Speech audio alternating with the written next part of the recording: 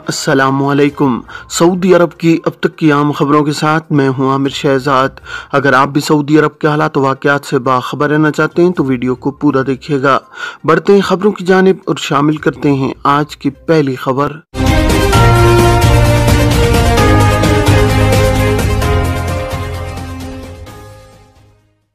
सबसे पहले बात करते हैं कि गैर मुल्की कारकुन की कौन सी फीसें कफील को देना होंगी। सऊदी वजारत अफरादी को तो समाजी बहबूद ने कहा है कि गैर मुल्की कारकुन के हवाले से कफील पर सात माली जिम्मेदारियाँ आयद की गई हैं। अखबार 24 के मुताबिक वजारत अफरादी कोत का कहना है कि कानून मेहनत की दफ़ा चालीस के मुताबिक इकामे के इजरा और तोसी वर्क परमिट के इजरा और तोसी की फ़ीस और इनमें से किसी एक के इजरा या तोसी में ताखिर पर मुकर्रा जुर्माना कफील के जिम्मे है। वजारत अफरादी कुत ने कहा कि गैर मुल्की कारकुन की रिक्रूटिंग की फ़ीस, पेशे में तब्दीली की फ़ीस, खरूज अहदा यानी एग्जिट री एंट्री की फ़ीस भी कफील के जिम्मे है। मुलाजमत का मुआदा मुकम्मल होने पर वतन वापसी का टिकट भी कफील को देना होगा। खरूजोदा की खिलाफ वर्जी पाबंदी के दौरान सऊदी अरब आ सकते हैं या नहीं? सऊदी महकमा पासपोर्ट एंड इमिग्रेशन जो वजारत दाखिला का झेली इदारा है, कवानीन के मुताबिक ममलिकत में मुकीम गैर मुल्कियों के इकामे खरूज अहदा और खरूज नहाई के इजरा का जिम्मेदार है।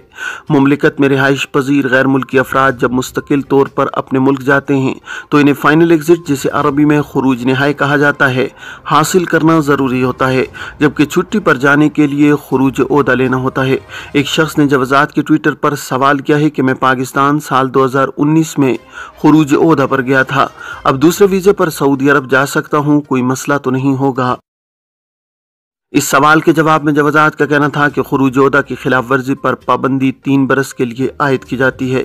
इस दौरान किसी भी नए वीज़े पर सऊदी अरब नहीं जा सकते। पाबंदी के तीन बरस मुकम्मल होने के बाद ममलिकत जा सकते हैं।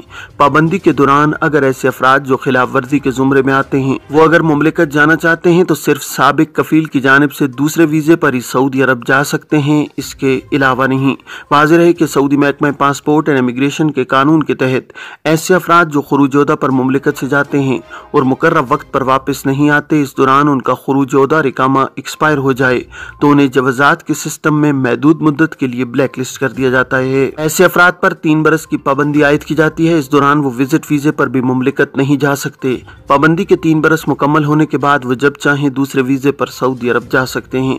ताम इस अमर का ख्याल रखना ज़रूरी है कि पाबंदी की मुद्दत का तयन उस वक्त किया जाना चाहिए, जब इस अमर का यकीन हो जाए कि जवाजात के सिस्टम में बैरून ममलिकत खरूजोदा पर जाने वाले को खिरज वलमियात की कैटेगरी में शामिल कर दिया गया है।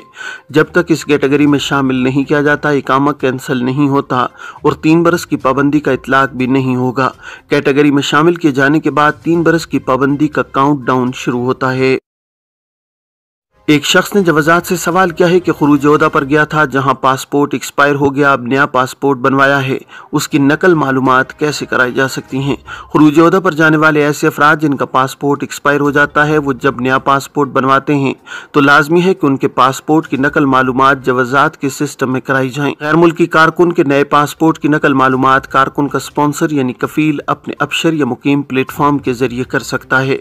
पासपोर्ट की नकल मालूम यानी पासपोर्ट का डेटा जवाज कागजात के सिस्टम में फ़ीड करना इंतहाई ज़रूरी होता है। नए पासपोर्ट का डेटा जिसमें पासपोर्ट का नंबर उसकी तारीख, इजरा और एक्सपायरी दर्ज की जाती है।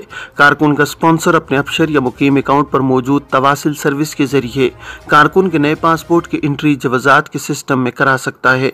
अलावाजी जब नए पासपोर्ट की इंट्री हो जाए, उसके बाद ममलिकत आने पर एयरपोर्ट पर इमिग्रेशन हुकाम को नया और पुराना पासपोर्ट एक साथ दिया जाए, ताकि कारकुन की इंट्री नए पासपोर्ट रिपोर्ट पर हो। ये थी अब तक की आम खबरें, अब तमाम अहबाब के कीमती वक्त का बहुत शुक्रिया।